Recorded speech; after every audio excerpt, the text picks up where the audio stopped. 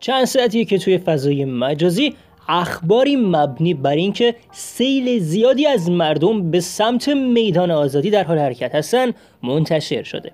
اطلاعات دقیقی در این رابطه نیست ولی با همدیگه چندی از ویدیوهایی که در اطراف میدان آزادی مردم جمع شدن و شعارهایی رو می‌دادن با همدیگه می‌بینیم.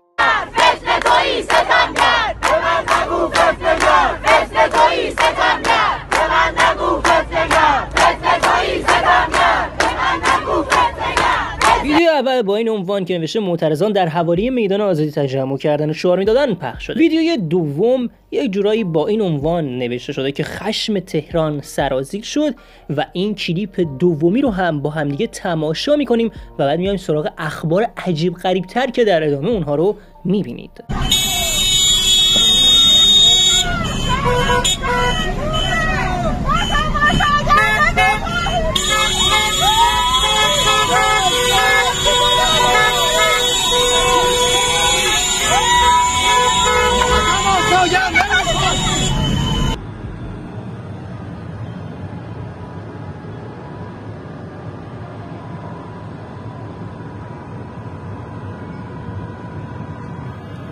ولی همه چی به همین جا ختم نشد. بعضی ها گفتن که در اطراف میدان آزادی به سمت مردم تیراندازی شده. اما در این رابطه شاید در حد یک حرف باشه. ولی کلیپ های رو منتشر کردن مردم توی اینترنت و این فیلم رو در این ویدیو برای شما می‌ذاریم و این فیلم رو تماشا کنید.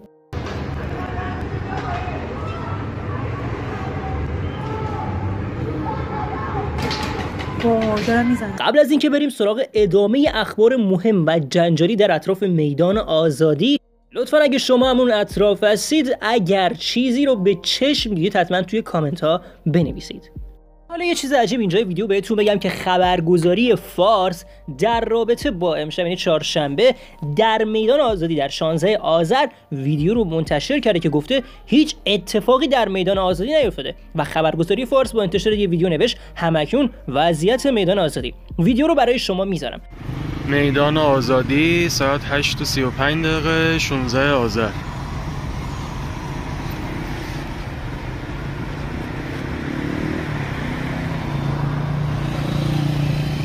ویدیو رو تماشا کردید و فردی در خبرگزاری فارس این خبر رو منتشر کرده. حالا بریم ببینیم که رسانه های خارجی در مورد این اتفاق میدان آزادی چی نوشتن.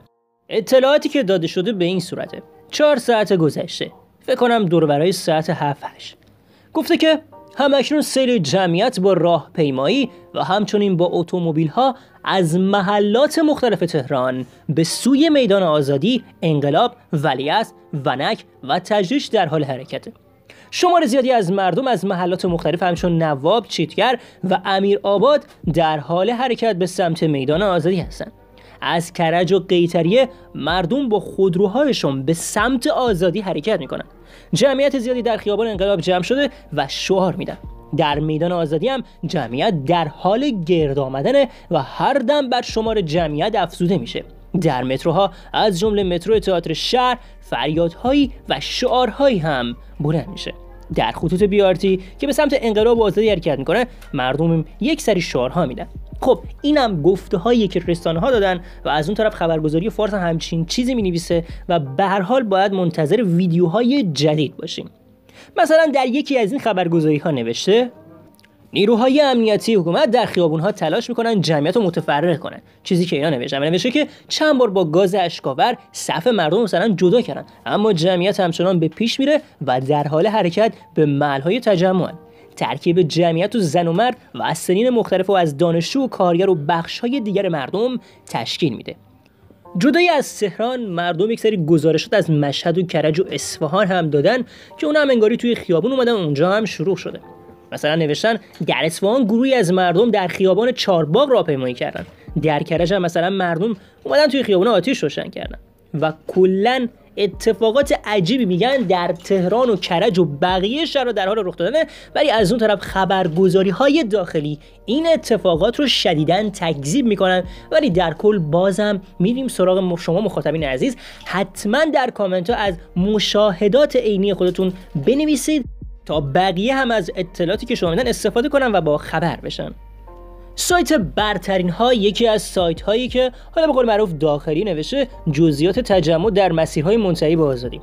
مثلا نوشته گزارش خبرنگاران از سطح شهر تهران حاکی از عدم استقبال از فراخان مجدد برای تجمع در میدان آزادی. در ادامه توضیحات سایت نوشته بر اساس این گزارش نزدیک به ده گروه 5 تا ده نفره با حرکت در پیادهروهای منتهی به میدان آزادی در پی شکل دادن تجمع در این منطقه بودند که با عدم استقبال آبران پیاده در محدوده میدان آزادی روبرو شد. این در حالی است که فراخان و تبلیغات گسترده‌ای برای شکل دادن تجمع در میدان آزادی در روزهای اخیر منتشر شده بود. اما به دلیل عدم استقبال آمران پیاده اجتماعات کوچیک ده نفره نیز بدون دخالت نیروهای پلیس پایان یافته. و اینم چیزی که خبرگزاری های داخلی نوشتن و اینم البته طبیعیه. ولی خب ویدیویی از خیابان منتهی به میدان آزادی داریم که ترافیک خیلی عظیمی اونجا شکل داده شده. اون ویدیو رو با هم دیگه می‌بینیم و بعد میایم سراغ ادامه ویدیو. البته میدان آزادی بارها شاهد تجمعات مختلفی بوده. مثلا زمانی که اون هواپیمای اوکراینیه که شامل مسافران ایرانی بود منفجر شد. اون زمان هم خیلی ها واسه اعتراض به این اتفاق توی میدان آزادی جمع شدن. یا مثلا سال 88 یکی از معروفترین تجمعات در میدان آزادی رقم خورد. حالا مثلا در بعضی از خبرگزاری نوشته مسیر آزادی و بستن جای دیگه تجمع کنید. و از این جور صحبت ها در فضای مجازی در حال پیچیدنه.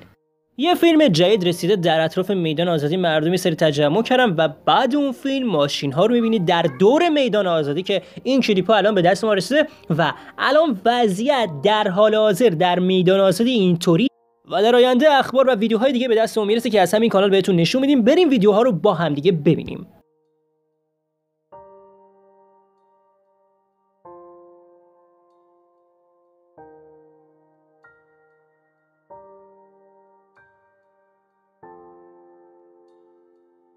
بود از اخبار ولی در این خبری که من بهتون گفتم یه خبری امروز خیلی trend شد و اون خبر هک اپراتورهای موبایل بود و اون notification ی بود که به سوی مردم اومد و گفته بودن که زلزله شده رو همه بریزید بیرون و این اتفاق حسابی جنجالی شد که حتی تلویزیون هم بارها اونو زیرنویس کرد و گفت اون هک بوده و نریزید بیرون و کلا سر همین هم یه سری جنجال ها و ماجراها به وجود اومد و در کل این بود از ویدیوی امروز. امیدوارم که اون اطلاعات کافی که نیاز داشته بودید رو از این ویدیو به دست آورده باشید. خیلی دوستتون دارم عاشق همتونم چاکرتونم نوکرتونم. تا ویدیوی بعدی خدا نگهدار زنگوله یادتون نره.